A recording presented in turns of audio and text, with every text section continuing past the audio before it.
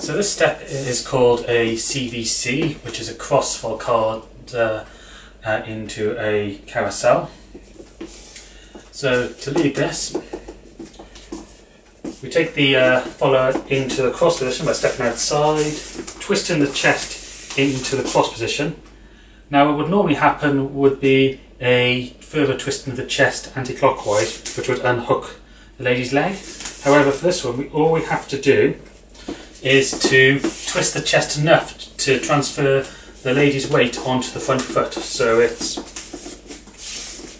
into the cross, unhook slightly more, the, uh, maintain the uh, close embrace, step back into the volcada, and then pivot around and walk out.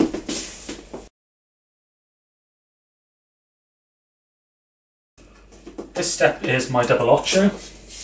So start off in the embrace. We take a side step to the left as you would for a normal ocho, close together and twist uh, clockwise. And then instead of taking the side step to the left for the lead, I step across my right foot, pivot her around, and we fall into the ocho. So I'm just twisting my chest to lead her through, and to finish it, I can do a double gancho with her take it through, out and walk through.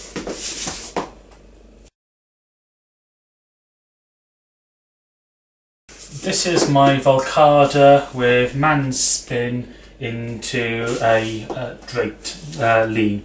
So we leave the Volcada, you can lead it however you like. On this time, when bringing the lady's leg round, I unhook my her right arm from her back, keeping hold of her left, drape her onto my shoulder as I turn and lean her into it. I can then bring her out, back through, and I can then take it into another volcada and out.